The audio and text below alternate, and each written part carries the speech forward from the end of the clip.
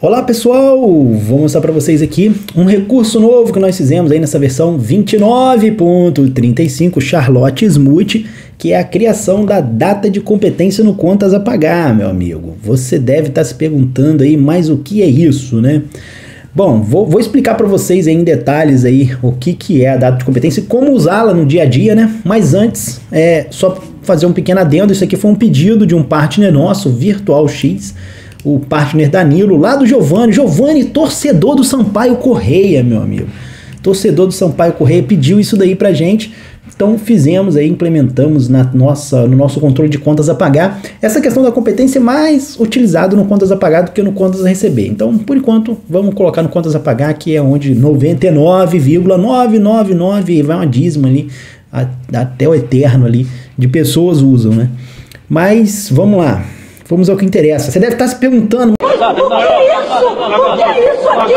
O que é isso aqui? O que é isso aqui? Mas o que é isso, né, meu amigo? O que é competência da Vamos tentar te explicar aí, né? Vamos tentar, tentar te explicar aí essa parada. Vamos lá.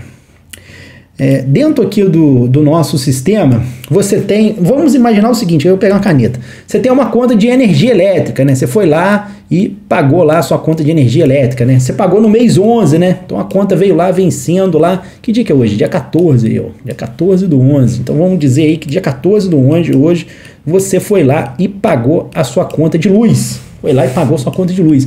Essa conta de luz que você pagou, ela é de qual mês? Ela é bom, ela, você está pagando ela no mês 11, mas ela não é referente ao uso da luz no mês 11. Então você precisa de saber, pô, essa, essa luz que eu estou pagando no mês 11, ela, ela foi ela foi usada no mês 10. Então assim, vamos dizer, o vencimento dela é 11, mas a competência dela é no mês 10, meu amigo. Ela é do mês 10, então ela tem que entrar lá na sua no seu, na sua despesa do mês 10, correto? Concorda comigo? Então você tem que colocar ela lá na sua despesa, bacana? Então, a gente tem que observar esse pequeno detalhe aí, né? Porque a, a competência é um pouco. É, parece um pouco conhecimento, mas é um pouco diferente. Geralmente, como eu disse para vocês, você geralmente lança no mês anterior, né? Então, por exemplo, você está fazendo um pagamento esse mês que é referente ao mês anterior, pode ser até alguma coisa mais para trás, né? De repente é uma competência de dois meses atrás que está pagando agora, entendeu? Então é importante você ter uma noção. Porque senão depois você olha ali, por exemplo, pô, quero fazer uma análise das minhas despesas. Pô, quanto que eu gasto mais luz? Eu gasto mais luz, sei lá, no mês de novembro, mês de outubro. Aí você vê lá que pagou não sei quanto de novembro, mas aí você tem que lembrar que novembro não, não foi aquele gasto de luz você não gastou em novembro, você gastou lá em outubro, né? A conta de luz é tranquilo, né? Que você, você sabe ali, né? Que sempre é um mês anterior, mas tem conta que você, tipo, é meio aleatório, né? Pode ser dois meses atrás, três meses atrás. Então é importante você informar a competência certinho das suas contas, tá? Então você pode informar ali a data de pagamento ali bacaninha do mês do mês 12, né? Tem, tem gente que tem até três, meses, três, contas, três datas aí, né? Tem uma galera aí que tem uma conta que vence no mês 11, o cara paga no mês 12, aí fica com uma data do pagamento, né? Depois a data da conta de vencimento e ainda pode colocar a data da competência, né? Mas Espero que você que esteja usando o E-Trade, o E-Trade esteja te ajudando a você não chegar nessa situação aqui, meu amigo. Nós estamos aí para te ajudar nesse sentido. Bom, vamos ao que interessa. É, voltando aqui para o nosso contas a pagar, né? O que, que a gente vai fazer? Vamos lançar uma conta aqui para vocês verem como é que funciona. Vamos lá. É, é, bem fácil, cara. Não tem mistério de mexer com competência. Você vai lá na filial, bota lá a filial. Vamos botar um, um, um cliente aí, Alex Texas, por exemplo. Alex Texas é o fornecedor, né? Não é cliente, não, meu amigo. Então vamos lá. Plano de contas, isso aqui é importantíssimo. Você tem que colocar o plano de contas. Vamos botar o combustível aqui. Vamos. Ah, o Giovanni. O Giovanni tá indo pro jogo do Sampaio Correia, beleza? Então, assim, vamos lá. É, o Giovanni tá indo pro jogo, então ele vai pagar gasolina, gasolina do jogo Sampaio Correia.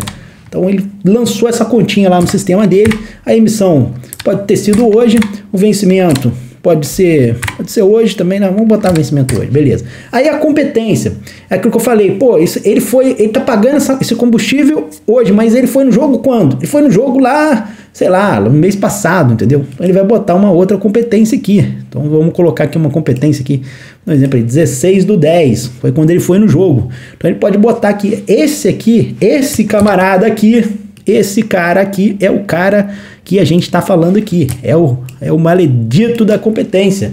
Então você tem que informar ele ali de acordo com a, com a data em que você quer que entre nos seus controles, ok? E aí ele vai informar o valor. Quanto que, quanto que o Giovanni gastou de combustível para ir ver o Sampaio Correia? Sei lá quanto que foi. 90 reais de combustível. Pronto. Tá longe do estádio, menino, hein? Vamos gravar. Gravou. E aí, pô, beleza, bacana. Como é que eu faço agora para tirar informação disso, né? O que, que eu posso pegar de informação disso? Bom, primeiro vou pegar um relatório de contas a pagar, né? Você vai ver que tem aqui agora um relatório que foi criado por competência. Nós já podemos filtrar isso, né? Então vamos pegar aqui é, do mês passado, por exemplo, né?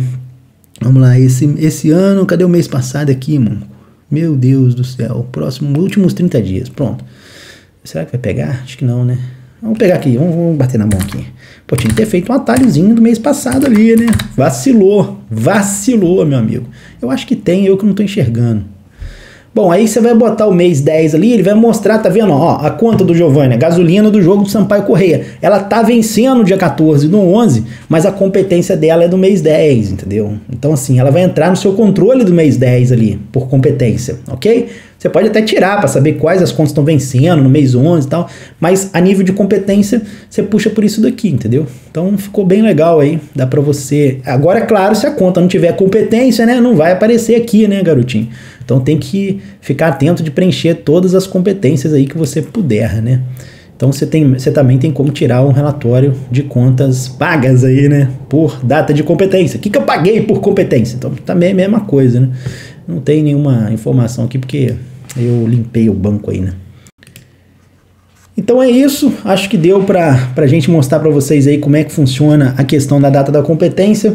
Espero que vocês tenham gostado desse vídeo. Se você tiver alguma dúvida aí, entre em contato aí com o nosso suporte ou com o suporte mais próximo aí da sua região, melhor dizendo, para que eles possam te ajudar, te orientar como é que funciona essa questão da competência. Beleza, pessoal? Um abraço e até a próxima.